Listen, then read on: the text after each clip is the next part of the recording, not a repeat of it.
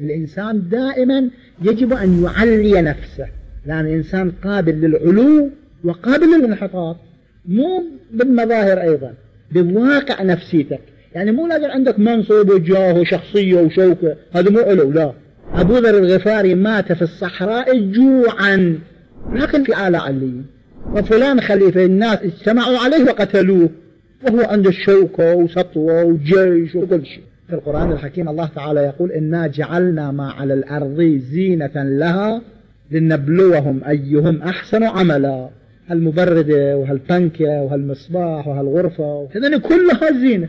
إنا جعلنا ما على الأرض زينة لها لنبلوهم أيهم أحسن عملا. للامتحان.